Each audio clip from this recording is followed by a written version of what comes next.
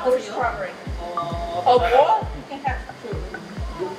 아이 아이스크림 이런 거 주면 안 돼 진짜. 오레오 오레오. Oh, that's good. Yeah. Okay. 이거 약간?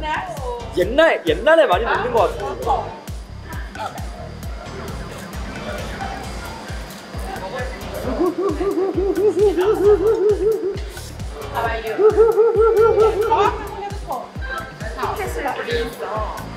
저도 우리 저도 와.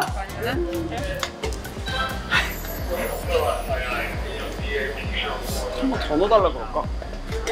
아니야 아니야 That's enough? 아니야. Okay. 그럴까?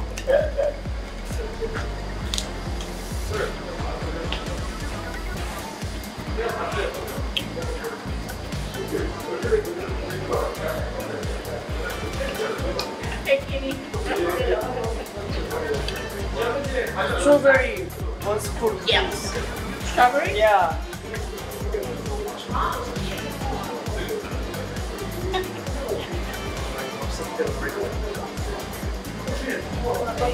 Is enough? 예. 너무 많이 먹지 말았습니다. 오, 여기에 이걸 뿌리면은 이 조화가 엄청 난다고.